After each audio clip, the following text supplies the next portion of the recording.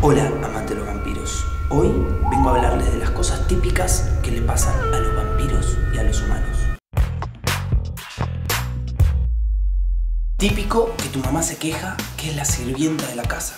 ¡Lionel! ¡A ordenar tu cuarto que yo no soy la empleada de nadie! Típico que vas al cine y pasan más trailers que películas. Tengo 118 años. Típico que vas a la peluquería y salís con cualquier cosa en la cabeza. Típico de las telenovelas. Oh, José Eduardo Ramón Ramírez de la Olla. Bésame mucho.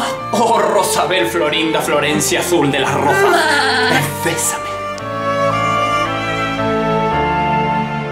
Típico en crepúsculo. No, no, no, no. Mejor esa no la hagamos. Típico cuando te pones los lentes. ¡Wow! Veo un 4K típico cuando estás terminando un trabajo práctico súper importante. ¡No! ¡Se me trabó el programa y no se guardó nada! ¿Qué te pasa? Típico cuando te subís a un taxi. Por favor, a Bampi Avenida Libertador al 1456.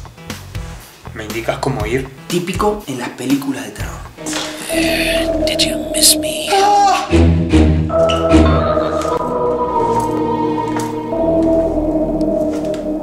Típico en videos de Vine. Hola, amante de los vampiros. Típico que vas a dormir y... Típico cuando llegas a un cumpleaños y no conoces a nadie.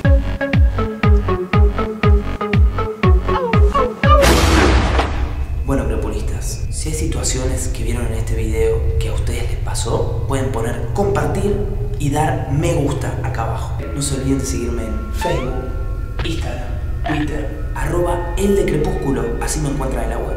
Y ahora me pueden seguir también en Snapchat.